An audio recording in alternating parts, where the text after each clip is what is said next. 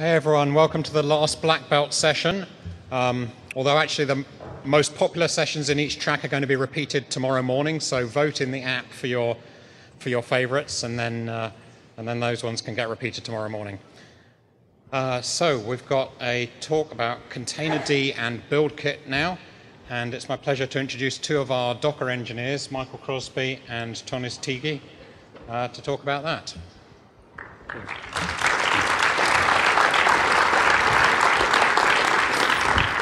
Great. Uh, thanks everyone for coming. So this will be a two-part talk. I'll start out talking about Containerd. We'll kind of go in depth on the client aspect of it, and then Tonis will take over and talk about BuildKit. So if you're not familiar with Containerd, it's basically a container runtime for platform builders. It's not geared towards end users like like Docker is, it's geared towards providing a service to Docker developers, like the people building Docker or the people building Kubernetes and other container platforms. So with that in mind, Containerd is scoped to the local node. It doesn't, it runs only over a Unix socket and it has a gRPC, gRPC API uh, over that socket to talk with it and um, some some of the recent changes from our Containerd 1.0 release was in 1.1 we added native Kube support with a CRI endpoint. So in this talk, we'll be doing a deep dive into the Containerd client and what it's like developing on Containerd when you're building a platform. And basically, Containerd has a smart client.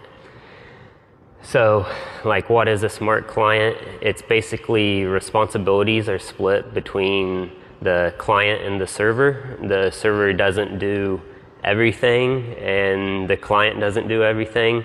So, in the container world, you're probably familiar with ver- various Docker feature sets like uh, image fetching and image storing. So, in the Docker world, you have a Docker pool but in the Containerd world, the pull of the content from a registry happens all client side so that you can have different authentication mechanisms for how you authenticate with the registry, how content is fetched, whether it's fetched from cache or uh, directly from the registry. And then storage happens on the Containerd server side where it's deduplicated and content addressed.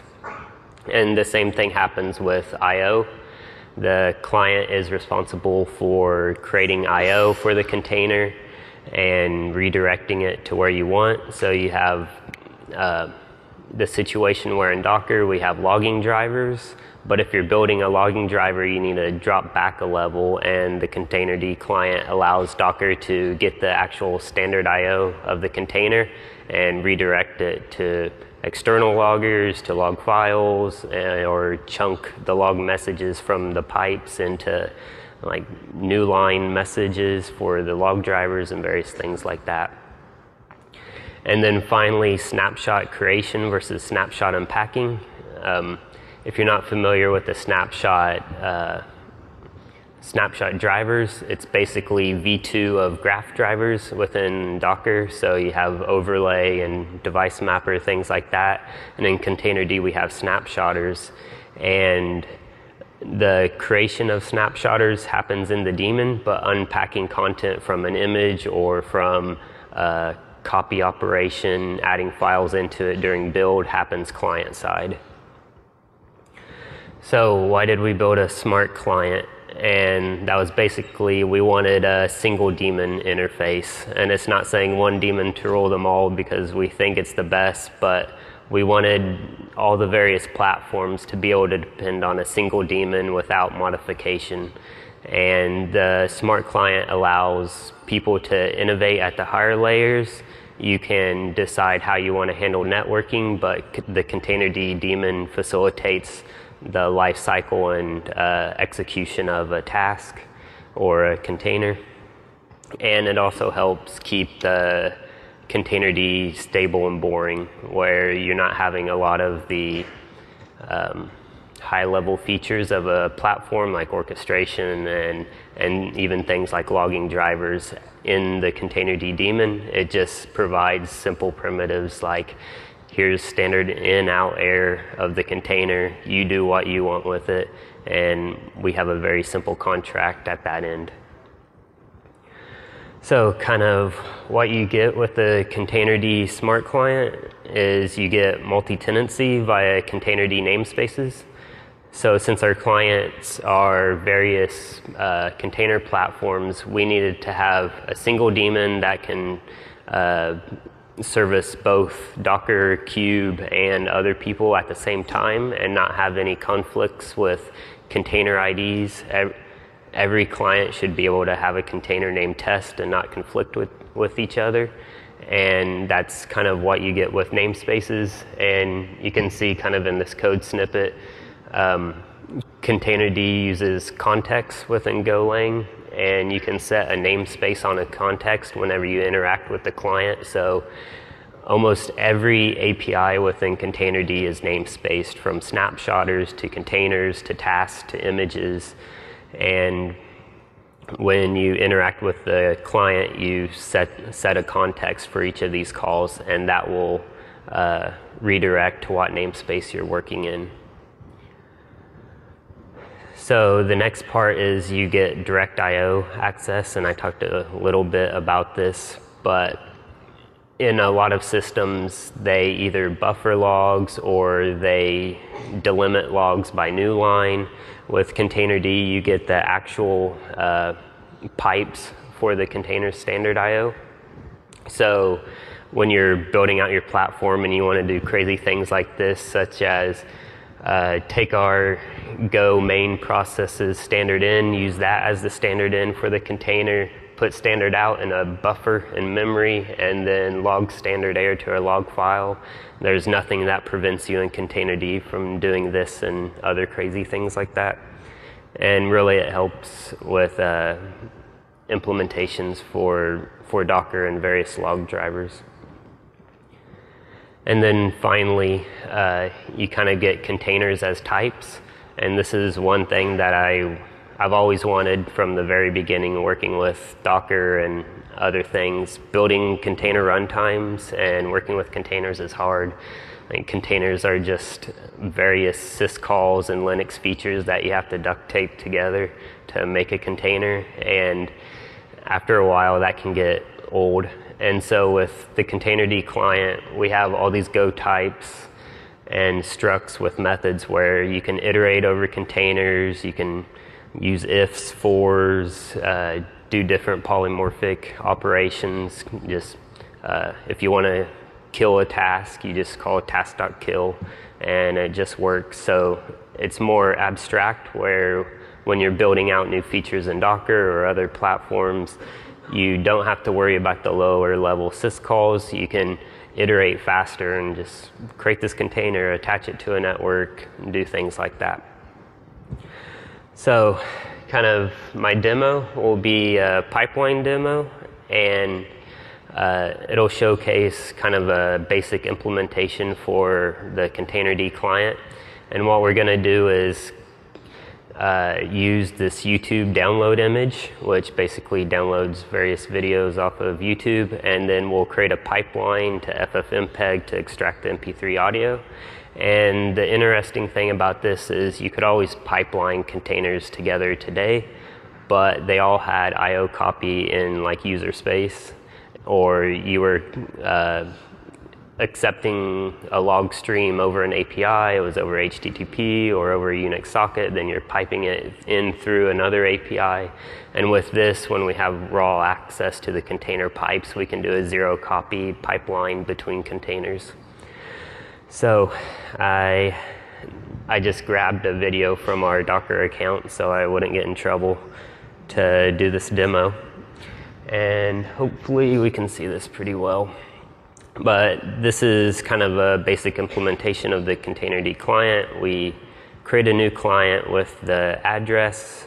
We create a new namespace, and for this one, I have a namespace called DockerCon, so it's not going to conflict with anything else running on my system.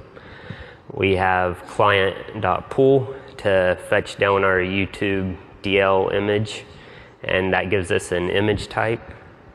And then we can start creating our containers and kind of containers as types. We create a container called YouTube, and this one we're enabling host networking and adding some host resolve conf and the host files to, to handle that, and then the different process args. And then secondly, we have our uh, other FFmpeg container, which doesn't have any networking in this pipeline. It doesn't need it, so uh, we omit that. And the basic args is this pipe.mp4 is the dot makes FFmpeg accepted over standard in, which is very cryptic, but it took the hardest part of this demo was figuring out all the FFmpeg options. And then finally, I have this pipeline uh, type that I created, and we can see see the implementation of this here. And Containerd uses FIFOs as the default for these. And so we're creating two FIFO sets, the left side and the right side. And all we're doing to kind of stitch these two containers together is we're saying the right side standard in is the left side standard out. And then uh, that's, that's basically it. So if I get back to where we were, so we created our new pipeline and then we create tasks from the YouTube container and the FFmpeg container, and we assign YouTube to the left side of the pipeline, and then FFmpeg to the right side of the pipeline. And then the only I/O copy in this is just taking FFmpeg's output of the MP3 file to this program standard out, so that we can play the MP3 audio in this demo. So if we go here and we run this, um, it's just a go binary with the client. It, I have it redirected to out.mp3 file. It will start the YouTube download. It piped it to it without any like I/O, any userland I/O between the two containers. And then if I SCP that MP3 file to my desktop and go over here. We should be able to play this.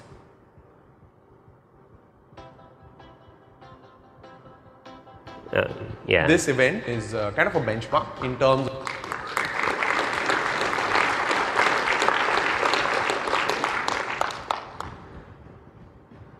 Uh, restarted. All right, hold on.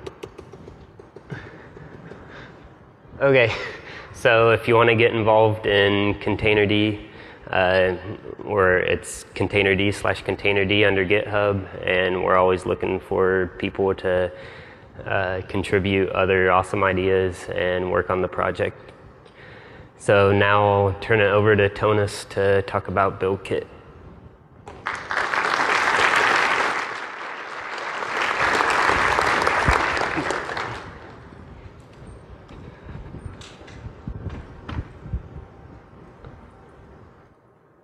Yeah, thanks, Michael. So, as Michael said, I'm going to shift topics a little bit, uh, talk to you about another important component we have in uh, Docker platform, and that's the builder. Uh, so, very similarly as with uh, Containerd, we've also created an, a new uh, open source project for the builder, uh, and also very similar to Containerd, this project is more designed to the power users and people who want to build stuff on top of that. So it leaves lots of rooms for for uh, and flexibility to have to add your more opinionated logic on top of it. So first news we have is that uh, we are bringing BuildKit into Docker daemon. So previously, if you wanted to use BuildKit, you would have uh, needed to uh, used as a separate utility. Now in 1806, uh, uh, uh, once Docker C 1806 comes out, you will be able to use it straight in your docker build command. It's an experimental at the moment. You need to opt in I will show exactly how it looks like in later. So as I said, we now have uh, support for BuildKit in Docker C. We also have some other community projects that are using BuildKit. We have an IMG project that's, uh, that provides uh, a standalone unprivileged uh, builder, uh, runs rootless containers by default, and also is powered by BuildKit. Uh, OpenFaaS Cloud is, is doing some collaboration between serverless and building images as part of your functions. And then there's a container uh, container build uh, builder interface. That's a project that's um, that uh, where you can use your uh, Kubernetes YAML to do, to define your build jobs, and it also supports BuildKit. So there are lots of new stuff in BuildKit. I um, um, I'm not going to cover all of those, just don't have enough time. But uh, make sure if you're interested in these things, uh, uh, follow up later, look at the repository, things like that. And the three main categories, I would say, where these features land are, quality, so that we have fixed some some really basic uh, uh, or we have made some really basic design changes that really have, have bothered us in the, in the previous implementation. So these are, for example, like getting rid of side effects, uh, storage model, cache model, these are completely new. Then we have lots of performance updates because uh, nobody wants to watch their code compile. And, uh, and then I think most importantly, we have uh, designed this thing so that uh, we could uh, add continuously add new features on top of it. We have um, looked at some of the maintenance problems we have had before with Docker files, for example, that I will show. So first thing, let's give you an idea what uh, what those performance updates would mean. So major disclaimer in here, uh, like performance uh, differs in every project you try it. So, so this is all these numbers are based on the moby/moby project where we built the Docker engine, and the Docker file it uses. Uh, machine is DigitalOcean is, if anyone cares. So the time it took to to rebuild moby/moby directly from empty state so current version happened to be, for some reason, exactly two, uh, two times uh, slower. So, uh, so almost six minutes compared to the three minutes in BuildKit. So that's quite a big save for you. Uh, another uh, case, like if you built it once, then you probably are repeating your build. What happens when you get the cache match so in this case, current, uh, current version took 3.6 seconds to figure out that everything was already cached. It is a complex Docker file. Uh, and BuildKit figured it out in, uh, in half a second. Another uh, point where you actually had a code change, so you had a partial cache, cache match. So again, like 2.5, still good. And to finish up those numbers, there is this, uh, there are some new features in BuildKit, of course. One of those uh, new features is uh, remote uh, build cache option. So you can build once and you can, uh, you can push your uh, build cache to a registry and then you can, on a, on a new machine, you can refer back to this cache. And, and it can detect the cache match without even downloading all the layers. It can do it efficiently if it finds a cache, cache match then it will only download the specific layer. And of course, like in these cases, we are getting into really big differences because the current uh, daemon doesn't support that. So five minutes there. Uh, so maybe this got you a little bit interested in what this BuildKit thing is. So let's see how you could use it. Uh, it's very versatile. You can use it as a as a library like Moby uh, or, or IMG do. It also comes with its own standalone daemon and, and client. You can use it with Containerd. Um, if you use it with, uh, with its own daemon, with its own uh, client, you get some new features like you get a brand new gRPC API for, for your starting your builds. We have a Go client library that you can use to to define your builds in a in in Go and then send it as build requests. Uh, we now have support for uh, rootless execution, so you can actually start your uh, your uh, BuildKit daemon your regular user, never requires root. Uh, then it's also very important to have some visibility inside your build because like your builds uh, will become more complex. We encourage that, so you need to uh, understand what exactly happens there. And in, with, with, uh, with the open tracing uh, providers we have in, in BuildKit, you can see things like how, how the clients and daemons share data, what processes actually get executed. You can see how the concurrency of uh, BuildKit takes effect, things like that. And sort of a work in progress at the moment, but we are working on the multi-worker model. So there's some of the code in here is not fully distributed yet, but this is definitely what we're looking at. Uh, let's see what's inside. Uh, so BuildKit is based on a completely new design. It's not based on the old code base. Uh, in the center of BuildKit, there's a new build format, and we call that build format LLB. It's you can find some resemblance in the LLVM uh, intermediate representation. Uh, so this LLB thing is uh, is a content addressable DAG. It's a real dependency graph, and it's binary, so it's machine generated. It's made for machines. It's very low level. You're not supposed to write it, but it's very very good for us to execute and cache. So when we receive this LLB, it only defines the execution path, and we will find the most optimal one. We will remove all the nodes where, that are not needed for your final build result. Uh, and as we execute it, we make sure that everything is cached for the next users, and also that the previous cache is properly properly uh, loaded.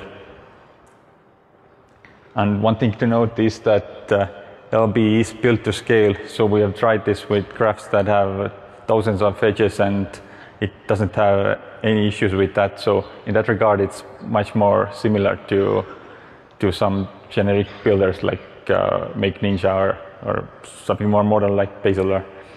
And for example, this is an example where I it's like 10% of a dependency graph that I generated from a Go package directly to LLB, so very different from Docker files but it handles it very well. So if you want to write LLB, then we, as I said before, we have this uh, client library. Uh, you can use that. But a more practical way to, to generate LLB is to use something called the front end. So what a front end is, the, is that it is a component that runs as part of your build can take any definition you like and generate it to LLB so that the actual build kit can execute it. And the best parts, uh, part about frontends is that they are distributable as container images. So if you, if you want to change the frontend, if you want to add a frontend, uh, you don't need to merge it into a binary. You don't need to wait for everyone to update their, uh, their Docker daemons or anything like that. And of course, we, we, want to build Docker files, so uh, we have uh, implemented a Dockerfile front end, but uh, anyone can create the front end in here.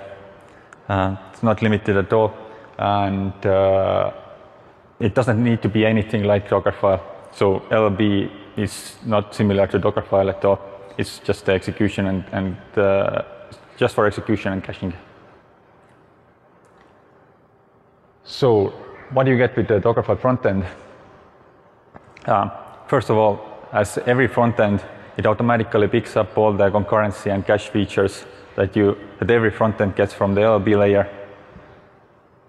Then uh, it is fully compatible with current Docker, so all your do current Docker files should work. If, if it doesn't, then let us know, we'll fix it. Uh, we uh, so there's some some new features that uh, that you will notice when you try it out. You will notice that your stage your build stages start to build in parallel. If you're using uh, multi-stage, you will notice that if you're targeting a specific stage, your some of your stages may be skipped because we can detect that that uh, there was no no need to actually run those commands. Um, then we have supports for for doing the similar skipping in the build context, so we can detect what kind of files you actually use in your add and copy uh, commands and basically if you don't use some, some files then we don't put it in the build context. And when you do the repeated build, we have another level of optimization where we just sync up the changes. Um, and so th these changes were all like kind of invisible. You will just notice that things are much more smooth now. Uh, we do have one syntax change as well, and that is a syntax directive. So the reason why we added this syntax directive is that it is very hard to uh, make language changes in Dockerfile at the moment. Uh, every time we make a change, those changes are forever. We can never revert them. And so we have to be super careful to if we're going to let anything in. So that's from the maintainer side. From the user side, it's not good as well because if you uh, if you want to start using some experimental feature, you need to upgrade. And it's not so easy for in case of Dockerfile features because like the, every daemon that you ever use needs to be updated. Like for example, maybe your CI was not updated, so so you can't start using this uh, this uh, feature, and it's very hard to predict like what what version of daemon will I use for this Docker file. So to solve this problem, we think it would be good to use this uh, loadable frontends feature that BuildKit supports. And if you want to add uh, more experimental features, we can just load them in from the images. And the way to do that is that we have this directives uh, feature in Docker files currently that basically allows you to add some configuration on top of your Docker file. And we're adding a new one, uh, calling it syntax, and you can just set it to to an image, uh, like an image reference that, that someone has pushed. And if a Dockerfile uh, frontend will build your Dockerfile, it will, if it will see this syntax directive, it will just stop working and redirect its job to this other frontend. So that makes sure that every frontend builds uh, builds correctly with the with the version that it was intended to. So the author of the Docker file chooses the implementation it's not like chosen randomly based on what, what version of uh, uh, daemon is being used. So we have a bunch of those uh, uh, new Dockerfile features that that have proposals that have community acceptance, and they're a lot of them have been like stalling a bit. So as a showcase, I picked one of those that are is quite heavily requested. It's probably the, the, the top one, and that's the run dash as mount proposal. And what this proposal allows you to do is that in your Docker file, you could have direct access to the files from your build context, from other stages, uh, from images, for example. And also it allows you to create something called a cache mount that um, that you can use as a cache location between your builder invocation. So what this allows you to do is to add another level of caching in your build that's like application specific caching because there are lots of applications uh, that uh, that support some built-in caching mechanism like lots of programming languages uh, go has one or many, many package managers uh, like npm as a cache folder apt bundler, everything like this. Maven, of course, like uh, can use it for the M2 folder. And so we have implemented this as a as an example of the syntax directive, and I will I will show it uh, in a demo. So let's go. Let's see the demo. Sorry, that's too early, and I don't want to upgrade now. so I'm he here in uh, in uh, in an empty empty machine. I have no state in here, and let's see.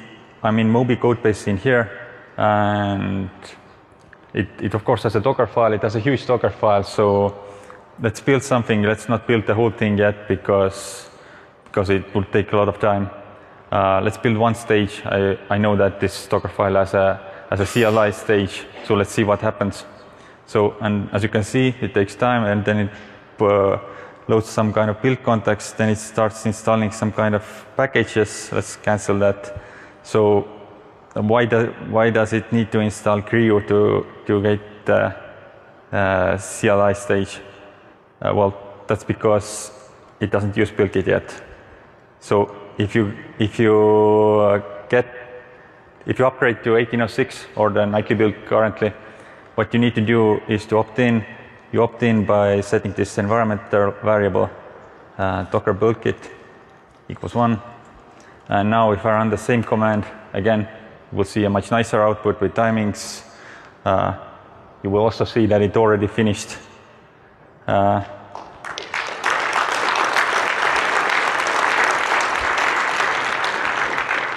so as you can see, there was no, no attempt to install CRIU in here because, of course, it could detect that these stages were not needed. Um, some other things to notice is that there was a build context uh, transfer also happening in here in parallel. And build context in here was 1.5K, while in this previous build it was 40 megs. So that was because uh, BuildKit saw that uh, like 99% of those files were not required by this stage, so they were never transferred at all. So, and if I rebuild it, if I get back my internet connection, come on, don't do this to me. Ah, ah.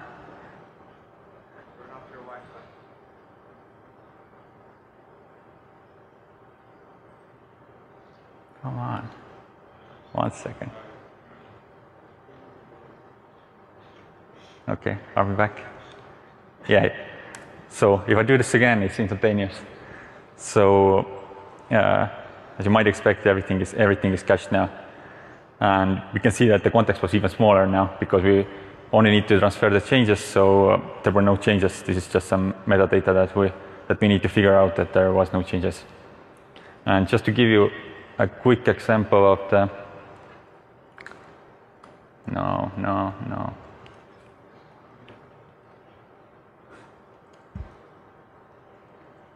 See if my other terminals work. Really should have set up my wired internet connection in here.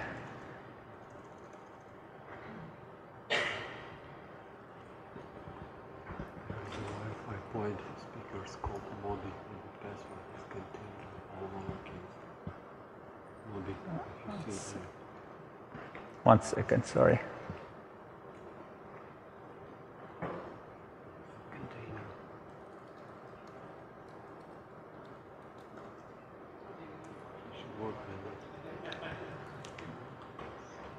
Yeah, should have set up some local demos.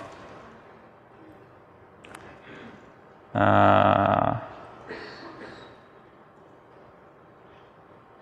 are we back? Yeah.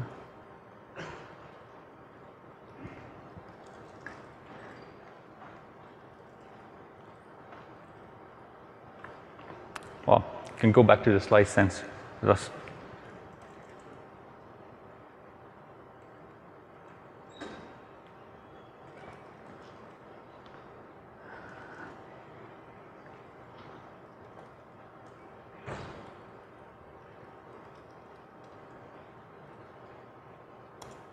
So, back online. Uh, what I'm showing in here at the moment is just that I, I ran the full rebuild. You can see the caching uh, or the parallelization in action. Uh, lots of stages building, building in parallel. Uh, so this is the main reason why you got this uh, 2x speed improvement and things like that in the in the previous performance graphs.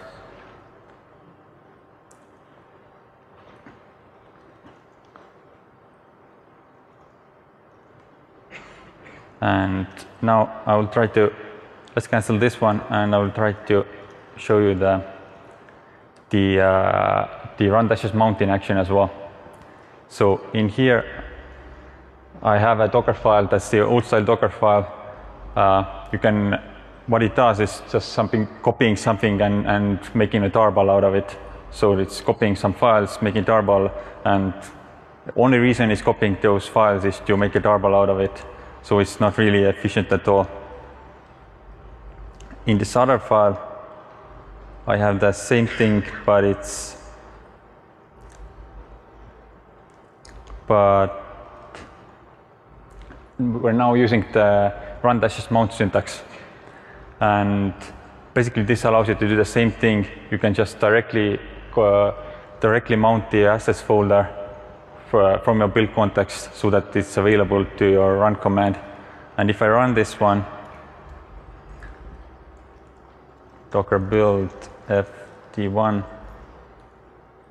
you can see that it doesn't recognize what this uh, mount flag is.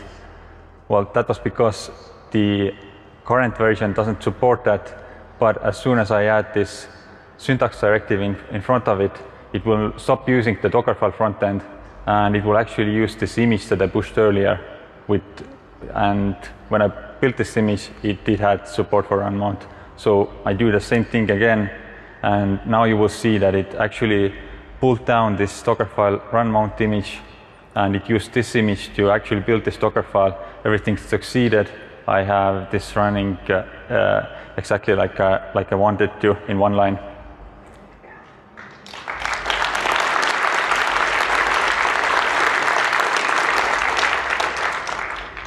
And to just show you this one more in action is that I've used the same logic with the cache mounts with, uh, with, uh, with a real project in BuildKit.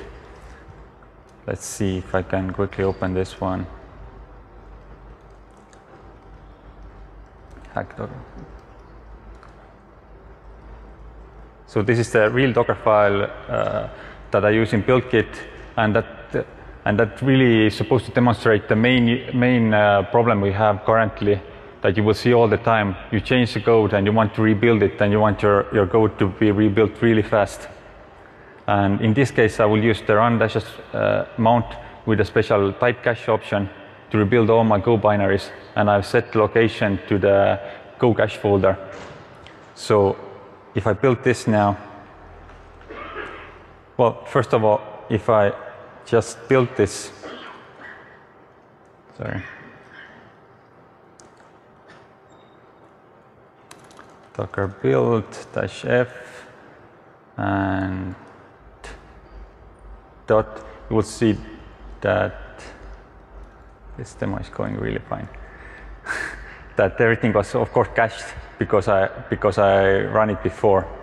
So and in this other terminal, I have the same thing, but I don't have run dash mount used.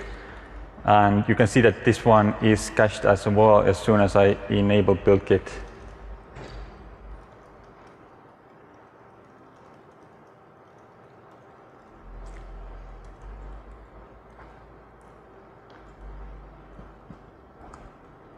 And, but now, let's see if, what happens when I do an update in here and the same thing in here. So I just made a go change, uh, not this one. And so the first one, top one is using cache, cache uh, mount, so it's leveraging Go caching. The other one is the regular one. The best thing that we can do just with parallelization, cache uh, stage skipping and things like that. So let's start the bottom one, one first. Missing dot in here. And wrong path as well. And let's start the other one as well. So they're looking very similar at the moment, but you can see that the first one finished. So that's because uh, it leveraged the Go caching.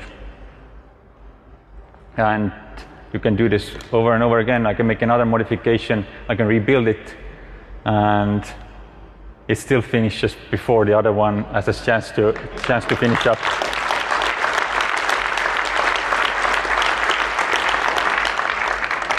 So these are the numbers for this uh, specific example. So the first one is from, well, the first one is too ridiculous, but the but the second one is the one where I actually manually removed all the commands that BuildKit would have removed automatically.